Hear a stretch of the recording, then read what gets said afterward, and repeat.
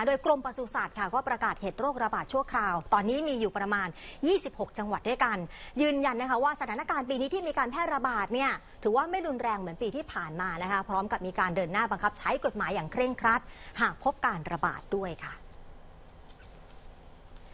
โดยนายสัตวแพทย์อภัยสุทธิสัง อธิบดีกรมปศุสัตว์นะคะก็มีการเปิดเผยนะคะว่าเหลือพื้นที่ประกาศเขตโรคระบาดชั่วคราวตอนนี้เนี่ยประมาณ 26 จังหวัดด้วยกันนะคะ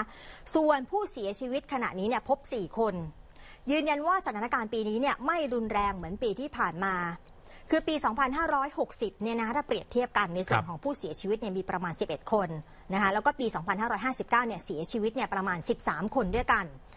ไปดูเรื่องของมาตรการการป้องกัน แล้วก็ควบคุมโรคกันบ้าง ณ ขณะนี้เองเนี่ยก็มีการแต่งตั้งคณะกรรมการป้องกัน แล้วก็ควบคุมโรคระดับจังหวัดแล้วก็อำเภอ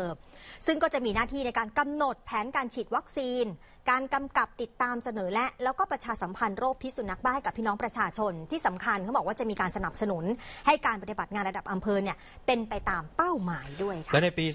2561 นะครับได้มีการฉีดวัคซีนป้องกันโรคพิษสุนัขบ้า ตั้งแต่เดือนตุลาคม 2560 อันนี้ไม่ต้องแปลกใจนะฮะค่ะงบของรัฐบาลเนี่ยส่วนใหญ่เขาก็จะเริ่มนี่แหละฮะค่ะตุลาคมอืมใช่ไหมค่ะปลายใช่ปลายงบใช่ประมาณต้นงบประมาณค่ะเนี่ยนะครับเขาเริ่มตั้งแต่ตุลาคม 2560 ครับถึงวันที่ 8 มีนาคม 2561 รวมทั้งสิ้นเนี่ยตอนนี้ฉีดไปแล้ว 932,800 กับอีก 7 ตัว และคาดว่าในช่วงรณรงค์เดือนมีนาคมถึงพฤษภาคม ในปีนี้เนี่ยนะครับจะฉีดวัคซีนได้ 5-6 ล้านตัว และครบตามเป้าหมาย 10 ล้านตัวภายในเดือนกันยายน 2561 โดยมั่นใจว่าวัคซีนเนี่ยมีเพียงพอแน่นอน ส่วนการผ่าตัดทำหมันก็ดำเนินการตั้งแต่ตุลาคมเหมือนกันนะครับ ถึงวันที่ 8 มีนาคม รวมทั้งสิ้น 79,431 ตัว และคาดว่าจะครบตามเป้าหมาย 200,000 ตัวภายในเดือนกันยายน 2561 ค่ะ นอกจากนี้เนี่ยเขาบอกว่าได้มีการอบรมในส่วนของอาสาสมัครปศุสัตว์แล้วก็อสม ด้วยนะคะเพื่อที่จะฉีด วัคซีนตามพรบวิชาชีพ สัตวแพทย์ 2561 ขณะนี้เนี่ยนะคะอบรมไปแล้วเนี่ยประมาณ 15,500 คน จากเป้าหมายที่วางเอาไว้อันนี้ถือว่าเกินนะครับ17,500 คนนั่นเอง ทีนี้ค่ะ หลายคนอาจจะถามเกี่ยวกับเรื่องของโรคพิษสุนัขบ้าที่มีการระบาดณขณะนี้เนี่ยมีกฎหมายเนี่ยเข้ามาเกี่ยวข้องแล้วก็ดูแลหรือไม่ ต้องบอกว่ามีนะคะเขาบอกว่าเขามีมาตรการควบคุมโรคมีกฎหมายที่เกี่ยวข้องจำนวน 3 ฉบับด้วยกันนะคะฉบับแรกค่ะ พรบโรคระบาดสัตว์ พุทธศักราช 2558 พรบโรคพิษสุนัขบ้า พุทธศักราช 2535 และพรบป้องกันการทารุณกรรมสัตว์ และจัดสวัสดิภาพสัตว์ พุทธศักราช 2557 ค่ะ เขาบอกว่า